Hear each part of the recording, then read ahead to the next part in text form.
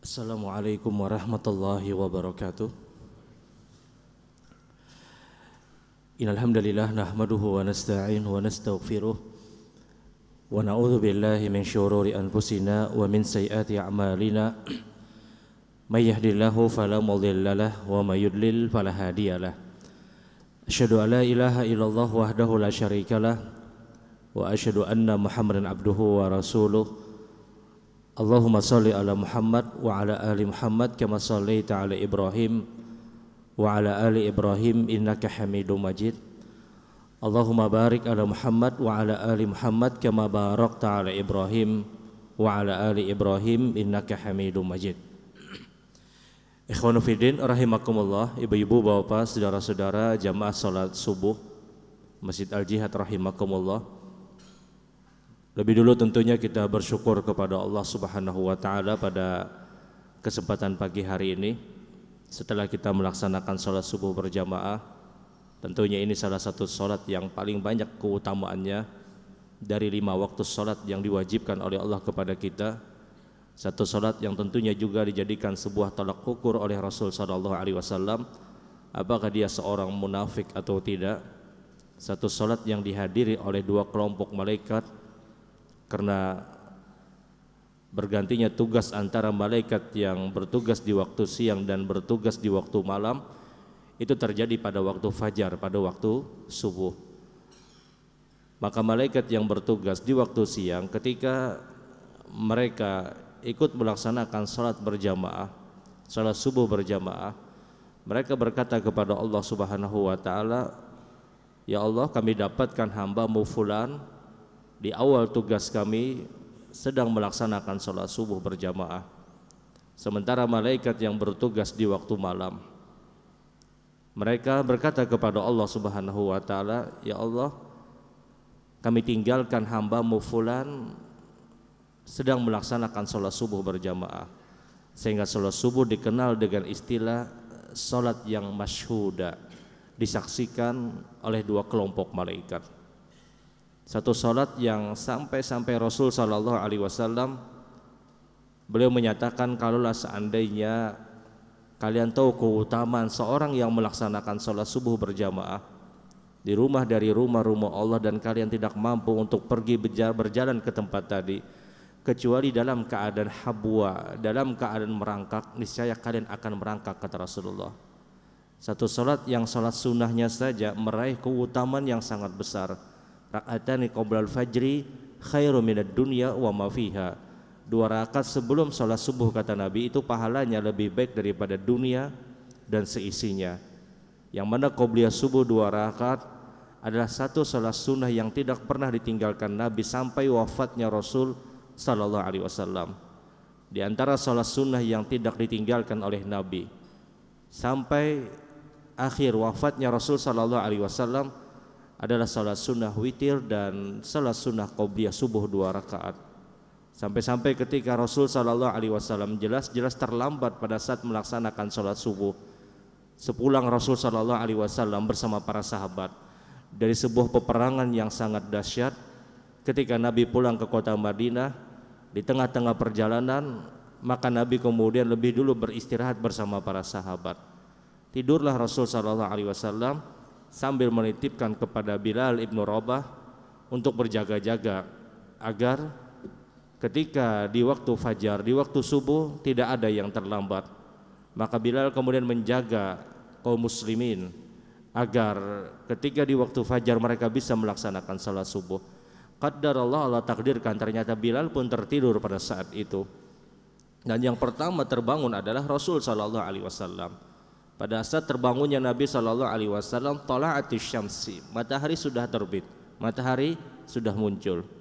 Maka Rasul Shallallahu Alaihi Wasallam membangunkan kepada para sahabat, kemudian memerintahkan kepada Bilal untuk ber, untuk azan.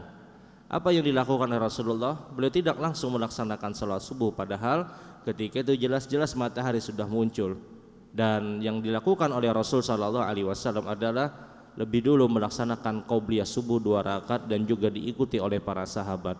Barulah Rasul Shallallahu Alaihi Wasallam melaksanakan sholat subuh bersama para sahabat. Dalil ini menunjukkan tentunya yang pertama Nabi Shallallahu Alaihi Wasallam beliau mengajarkan kepada kita yang Allah takdirkan ketika itu memang terlambat karena memang dalam keadaan yang sangat berat, keadaan yang sangat sulit.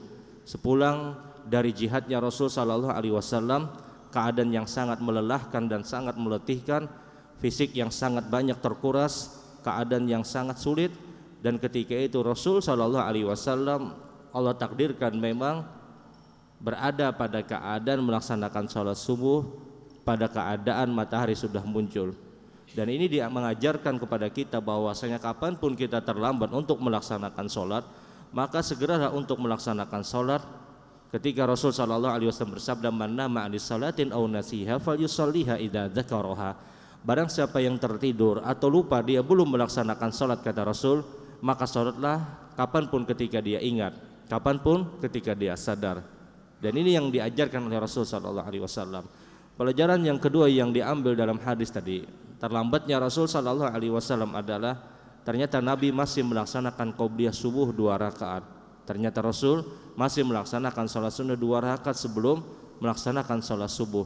Dan ini menunjukkan akan keutamaan, akan mulianya, akan besarnya pahala qobliyah subuh dua rakaat yang diajarkan oleh Rasul Shallallahu Alaihi Wasallam. Dan kita bersyukur kepada Allah pada hari ini kita masih diberikan kesempatan oleh Allah untuk beribadah, untuk beramal soleh, untuk menjalankan ketaatan yang tentunya sebuah telak ukur yang dijadikan standar oleh Allah Subhanahu wa taala. Seorang itu dikatakan mendapatkan kebahagiaan yang sejati adalah ketika dia amila salihah, ketika dia beramal soleh min zakarin au unsa, baik dari laki-laki ataupun perempuan, wahwa mukmin dan dia beriman kepada Allah maka janji Allah fal nuhyihu hayatan thayyibah kami akan berikan kehidupan yang sejati kami akan berikan kebahagiaan yang sesungguhnya karena kebahagiaan yang sesungguhnya adalah diukur dia beriman kepada Allah dan dia beramal soleh kebahagiaan sesungguhnya tidak diukur dengan sebuah kekuasaan. Kebahagiaan yang sesungguhnya tidak diukur dengan banyaknya harta. Karena kalaulah seandainya kebahagiaan yang sesungguhnya itu diukur dengan sebuah kekuasaan maka mungkin orang akan mengatakan Namrud dia akan lebih berbahagia daripada Nabi Allah Ibrahim alaihissalatu wassalam. Dan kita tahu bagaimana kekuasaan seorang Namrud laknatullah alaih. Kekuasaan Namrud itu jauh lebih besar daripada kekuasaan Fir'aun. Kerajaan Namrud jauh lebih banyak dan lebih besar daripada kerajaan Fir'aun. Kalau Fir'aun mungkin hanya menguasai area Mesir, namun Namrud dia menguasai dari daerah dari daerah Babilonia sampai seluruh Asia. Bahkan disebutkan dalam sejarah separuh dari dunia itu dikuasai oleh Namrud. Besarnya kekuasaan Namrud. Dan tidak ada apa-apanya Firaun yang hidup pada zaman Nabi Allah Musa. Namrud dia hidup di zaman Nabi Allah Ibrahim alaihissalatu wassalam. Yang dia mempunyai kekuasaan yang sangat besar. Bayangkan separuh dari dunia dikuasai oleh Namrud. Kalaulah seandainya negara Indonesia itu ada di zaman dulu, maka Indonesia pun ditaklukkan oleh Namrud. Separuh dari dunia itu dipegang oleh Namrud. Dia mempunyai tentara yang tidak pernah terkalahkan. Dia mempunyai fisik yang sangat tangguh. Namrud adalah seorang raja yang sangat gagah. Perawakannya, fisiknya tinggi, besar, putih dan sangat gagah dan dia mempunyai tentara-tentara yang tidak pernah terkalahkan. Apa pun yang diinginkan Namrud ketika itu, kalau dia ingin mencaplok sebuah daerah, maka itu akan bisa dia lakukan. Sehingga kekuasaannya itu menguasai separuh dari dunia. Di saat dia mempunyai kekuasaan separuh dari dunia, maka dia mengatakan, dia kemudian mengangkat dirinya untuk menjadi Tuhan. Dia mengatakan, saya inilah Tuhan. Hebatnya Namrud ketika dia mengatakan, aku ini adalah Tuhan, seluruh orang-orang yang dia kuasai, seluruh areal dan wilayah yang dia kuasai mengakui seyakin-yakinnya Namrud itu Tuhan. Beda dengan Firaun. Firaun ketika mengatakan ana rabbukumul a'la, aku adalah Tuhan kalian. Aku adalah Tuhan kalian yang tinggi. Sebahagian dari rakyatnya memang mengakui dia adalah Tuhan, namun ada kekhawatiran dan ketakutan. Tapi Namrud ketika dia mengatakan aku adalah Tuhan kalian, maka ketika itu seluruh orang-orang yang dia kuasai memang benar-benar meyakini seyakin-yakinnya bahwa Namrud itu Tuhan mereka Besarnya pengaruh Namrud, besarnya pengaruh Namrud. Dan ini lebih parah lagi ketika istrinya pun mengakui bahwa Namrud itu Tuhan dia. Bayangkan suaminya dia akui itu adalah Tuhannya. Saking besarnya pengaruh Namrud. Tidak hanya istrinya yang mengakui bahwa Namrud itu Tuhan dia, anaknya pun mengatakan bahwasanya orang tuanya, bapaknya itu Namrud itu adalah Tuhan dia. Inilah pengaruh pengaruh seorang Namrud. Dan di saat dia mengatakan aku adalah Tuhan kalian, maka malamnya dia bermimpi. Dia bermimpi kerajaannya hancur. Dia bermimpi rusak dan hancurnya kerajaan yang dipimpin oleh Namrud. Gelisahlah seorang Namrud ketika dia mendapatkan mimpi bahwasanya kerajaannya hancur dan dipanggillah orang-orang yang dianggap bisa mentakwilkan mimpinya. Ini bahlulnya Namrud seperti ini. Bayangkan, Tuhan memanggil orang untuk bertanya apa mimpi dia. Ditanya satu persatu. Wahai fulan, apa menurut engkau takwil mimpi Tuhanku ini, Tuhanmu ini? Bayangkan Tuhan bertanya kepada seorang hamba dan bahlulnya juga orang-orang yang mengikuti Namrud Dikatakan kami tidak tahu wahai Tuhan kami. Kami tidak tahu wahai Tuhan kami. Ditanya satu persatu dan tidak ada yang mengetahui. Sampai muncul seorang Azar, orang tua dari Nabi Allah Ibrahim alaihissalatu wassalam. Maka ditakwilkanlah mimpi Tuhannya. Mimpi Tuhannya. Wahai Tuhanku, sesungguhnya mimpi engkau ini akan pasti terjadi. Kerajaan engkau pasti akan hancur wahai Tuhan. Wahai Tuhan. Siapa yang menghancurkannya kata Namrud? Seorang anak laki-laki nanti, seorang laki-laki. Maka kemudian Tuhannya bikin pengumuman, Namrud bikin pengumuman, mulai malam ini kata Namrud, siapa pun yang lahir dari seorang anak laki-laki, siapa pun yang lahir selama dia adalah seorang anak laki-laki maka bunuh kata Namrud. Tuhannya bikin pengumuman harus dibunuh. Disebabkan karena takwil hambanya yang beribadah kepada dia. Maka dibikin pengumuman, maka seluruh orang-orang ketiga itu pun merasa sangat-sangat khawatir apa yang dia dapatkan. Dan disebutkan dalam beberapa periwayatan di malam Namrud bikin pengumuman seluruh anak laki-laki itu dibunuh pada saat lahir pada waktu itu. Maka disebutkan dalam riwayat dari area Babilonia sampai seluruh Asia setengah dari dunia yang dia kuasai satu malam itu saja memakan korban mungkin jutaan anak laki-laki yang sudah terbunuh.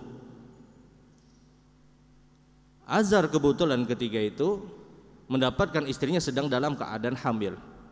Orang tua Nabi Allah Ibrahim alaihissalam.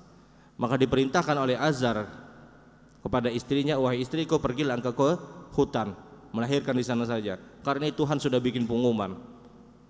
Pengumumannya diperparah, saya yang mentakwilkan mimpinya kata Azar. Kadar Allah takdirkan Nabi Allah Ibrahim kemudian dilahirkan dan memang tidak disebutkan secara detail riwayat bagaimana pertumbuhan Nabi Allah Ibrahim alaihissalatu wassalam. Nah ikhwan rahimakumullah ini gambaran bagaimana sesungguhnya kekuasaan itu tidak bisa dijadikan tolak ukur orang itu berbahagia atau tidak. Dan sulit untuk kita katakan hari ini orang yang mampu mencapai kekuasaan seperti Namrud Sulit untuk kita katakan ada orang hari ini bisa menguasai separuh dari dunia sebagaimana Namrud. Sulit untuk kita katakan hari ini ketika ada yang mengakui saya ini Tuhan, semua orang tunduk dengan apa yang dia katakan. Modal yang seperti ini pun tidak menjamin dia berbahagia. Modal kekuasaan, modal tentara yang tidak terkalahkan, modal fisik yang sangat-sangat tangguh, modal kesehatan yang diberikan oleh Allah modal banyaknya kenikmatan-kenikmatan yang dititipkan oleh Allah kepada Namrud laknatullah alaih tidak menjamin dia menjadi orang yang berbahagia. Karena tolak ukur orang itu berbahagia, konsep hidup yang diajarkan oleh Allah Subhanahu wa taala, siapa pun yang beramal saleh dan dia beriman kepada Allah, Allah berjanji pasti kami berikan kebahagiaan yang sesungguhnya. Kami pasti berikan kebahagiaan yang sejati Itulah kehidupan yang sejati ketika kita beramal saleh, ketika kita beriman kepada Allah Subhanahu wa taala. Sehingga kekuasaan, kekayaan atau apa pun yang kita miliki belum menjamin orang itu akan mendapatkan kebahagiaan. Tapi kebahagiaan yang sesungguhnya ketika kita beramal soleh dan kita beriman. Dan ini yang dinyatakan oleh Allah wa ma khalaqul jinna wal insa illa liya'budun dan tidaklah aku ciptakan jin dan manusia kata Allah kecuali hanya untuk beribadah kepada Allah. Qul inna salati wa nusuki wa mahyaya wa mamati lillahi rabbil alamin kata Allah.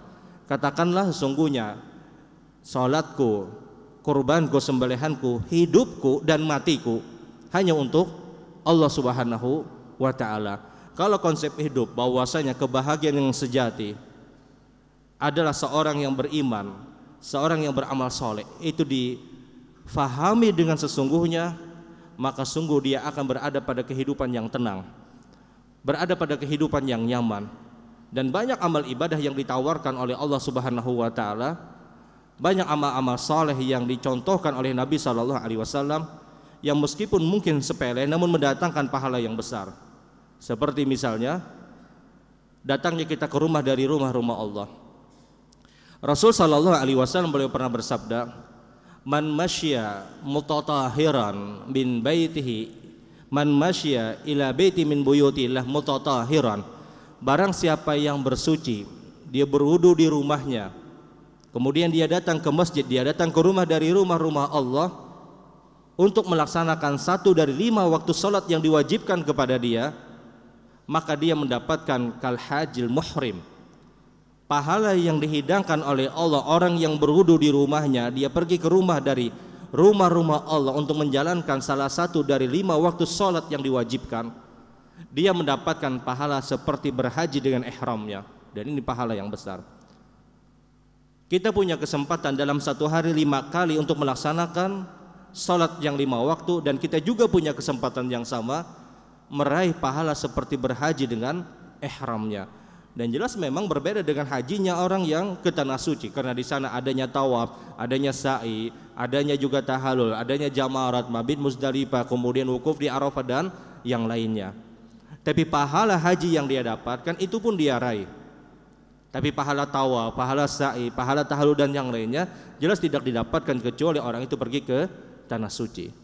Dan Nabi menyatakan seorang yang pergi ke rumah dari rumah-rumah Allah mutatahiran dia bersuci di rumahnya, dia berwudu di rumahnya, kemudian dia melaksanakan satu dari lima waktu sholat yang diwajibkan, maka pahala yang dia dapatkan kal hajil muhrim seperti dia melaksanakan ibadah haji.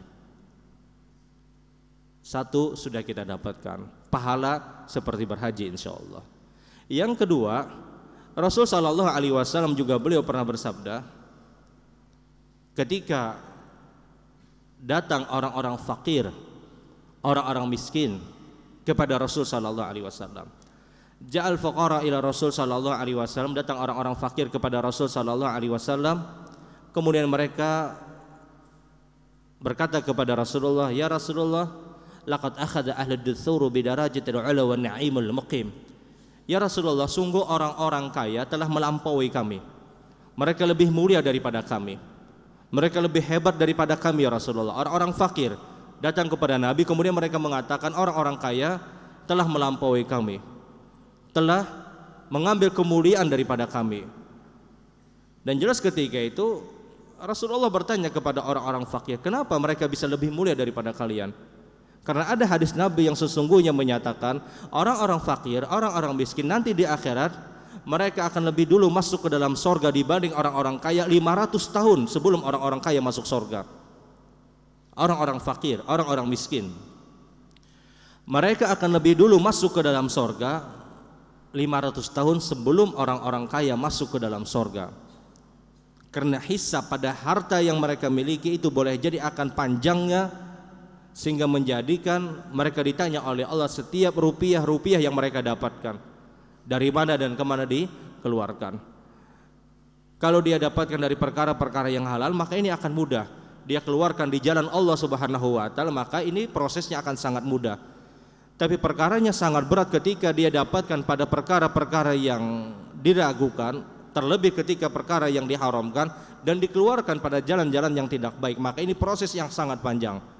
Tapi kalau orang itu mengeluarkan pada jalan-jalan yang baik, dia sedekah, dia infak, dia bantu orang lain, dia membahagiakan orang lain dengan harta yang dia miliki, maka ini akan sangat mudah. Orang-orang fakir umumnya mereka akan lebih dulu masuk ke dalam sorga 500 tahun sebelum orang-orang kaya. Tapi ketika orang-orang fakir berkata kepada Rasulullah, "Ya Rasulullah, qad akhadha ahlu dusuru bi darajatil ula wa na'imul muqim." Orang-orang kaya telah melampaui kami pada kemuliaan yang mereka dapatkan.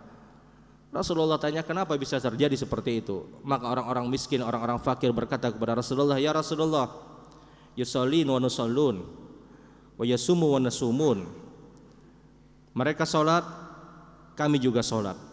Mereka puasa Kami juga bisa puasa.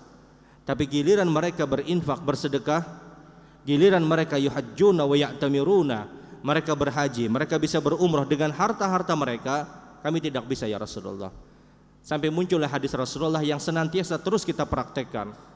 Apakah engkau mau kata Rasulullah sebuah amalan, sebuah ibadah yang bisa seperti pahalanya orang-orang kaya dengan hartanya mereka berhaji, mereka berumrah, mereka bersedekah dan yang lainnya. Kami mau ya Rasulullah amalan apa itu? Maka perintah Rasulullah bertasbihlah engkau selesai solat, bertahmidlah engkau selesai solat, bertakbirlah engkau selesai solat. Zikir subhanallah alhamdulillah dan Allah Akbar yang 33 yang 33. Pulang orang-orang fakir kemudian mengamalkan dari apa yang diperintahkan Rasulullah. Beberapa hari kemudian datang lagi orang-orang fakir kepada Nabi Shallallahu Alaihi Wasallam kemudian mengatakan ya Rasulullah ternyata orang-orang kaya juga mengikuti amalan kami. Ternyata orang-orang kaya juga mengikuti perbuatan kami. Maka Rasul Shallallahu Alaihi Wasallam menyatakan Zalika fadlillah yu'ti yasha. Itulah kata Nabi keutamaan yang ingin diberikan oleh Allah kepada hamba Allah yang diinginkan oleh Allah Subhanahu wa taala. Hadis ini memberikan isyarat kepada kita seorang yang bertasbih selesai sholat, bertahmid, bertakbir, zikir-zikir selesai sholat, itu akan mendatangkan pahala ya'tamiruna wa yahajjun, mendatangkan pahala seperti orang yang berumroh dan berhaji. Dan ini pahala yang sangat mulia. Dan kita punya kesempatan yang sama di dalam satu hari lima kali untuk berzikir tadi sebagaimana kita melaksanakan sholat yang lima waktu dan pahala yang sangat besar yang setiap hari sudah kita praktekkan yang hakikat itu mendatangkan pahala amalan yang selanjutnya yang pahalanya mirip seperti berhaji adalah orang-orang yang melaksanakan sholat syuruk atau orang-orang yang melaksanakan sholat isyraq atau sholat turu dengan persyaratan kata Nabi seorang yang melaksanakan sholat subuh berjamaah di rumah dari rumah-rumah Allah maka ada Allah taala kemudian dia berzikir ingat kepada Allah dia beribadah dia tunggu munculnya matahari. Ketika matahari sudah benar-benar muncul kemudian dia laksanakan salat sunnah dua rakaat maka pahala yang seperti itu seperti dia melaksanakan pahala ibadah haji dan umroh tamatin tamatin tamatin sempurna kata Rasulullah.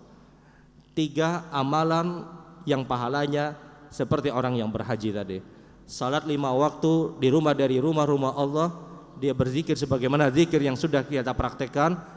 Kemudian orang yang melaksanakan ibadah salat syuruk maka ini pun pahalanya seperti berhaji ada amalan yang lain yang juga mendatangkan pahala yang sama pahala yang besar seperti berhaji di antaranya juga adalah seorang yang disebutkan oleh Nabi Shallallahu Alaihi Wasallam ketika ada salah seorang sahabat dia datang kepada Nabi ya Rasulullah saya ingin berjihad.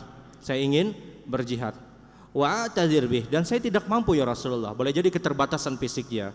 Boleh jadi keterbatasan diri dia sehingga dia tidak mampu untuk pergi berjihad.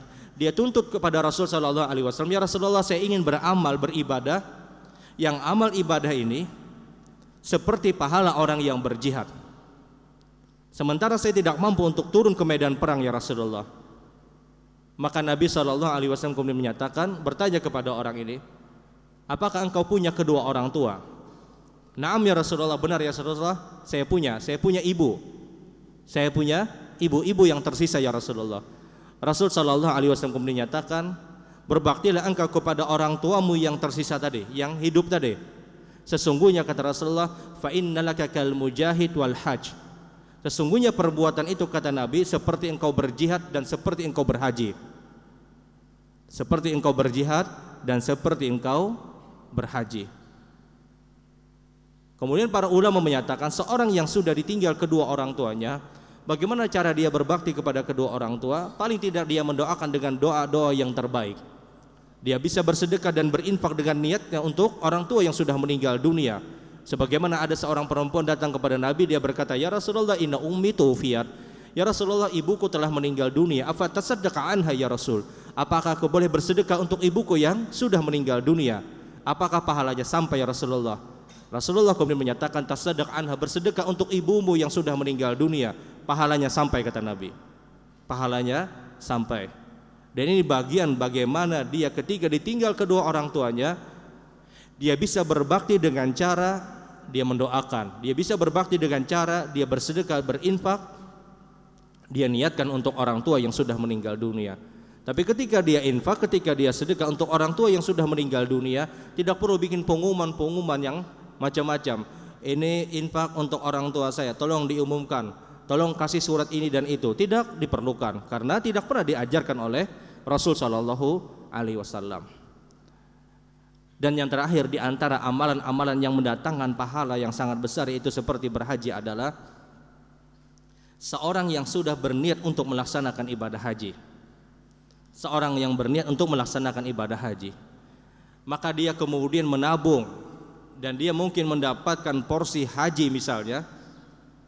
Di hari itu dia sudah mendapatkan pahala ibadah haji.